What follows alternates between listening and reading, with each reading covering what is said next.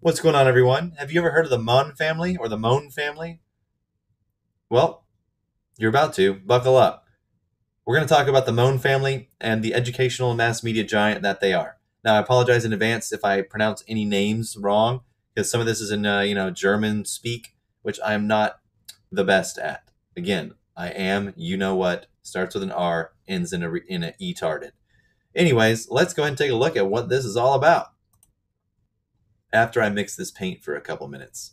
Hold on a second. There we go. Okay. So, what is Pearson? We're going to start with Pearson. You know, the educational company, the, the books you read, the science books, math books, all that fun stuff that you read growing up, most likely. Um, they've moved kind of more to an online ebook type uh, situation right now. But, anyways, they're a large influence on book publishing, were once the largest publisher of educational books in the world. So, you know, Pearson. Pearson Education is a British owned education publishing and assessment service to schools and corporations, as well as for students directly. Pearson owns educational media brands including Addison Wesley, Peachpit, Prentice Hall, eCollege, Longman, Scott Foresman, and others. Another notable mention, they also own My Math Labs. So I don't know about y'all, but in college, whenever I was failing my math classes, um, you know, we had this thing called My Math Labs that we used for our math labs. That was owned by Pearson as well. Now, Pearson is part of Pearson PLC, which formerly owned the Financial Times, as another fun fact. Pearson Education was formed in 1840 with the current incarnation of the company created when Pearson PLC purchased the education division of Simon & Schuster, including Prentice Hall and Allyn & Bacon, from Viacom, and then merged it with its own education division, Addison Wesley Longman, to form Pearson Education.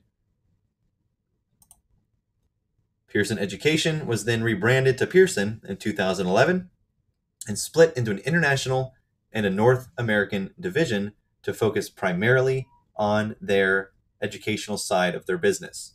They offshored the publishing side of it,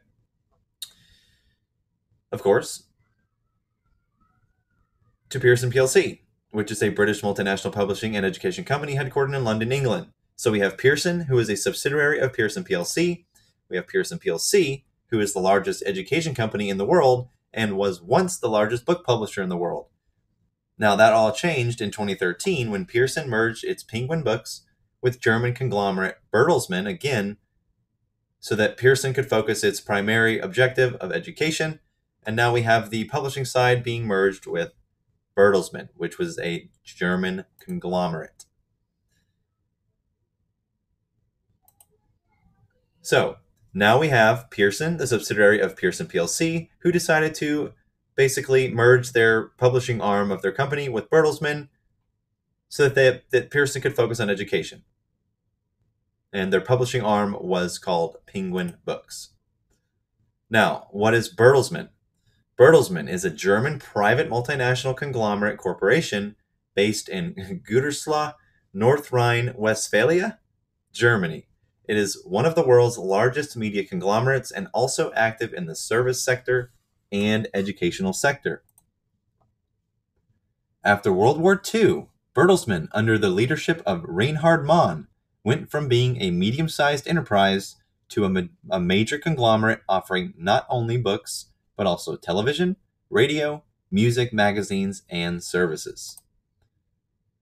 Now, Bertelsmann is an unlisted and capital market oriented company which remains primarily controlled by the Mohn family.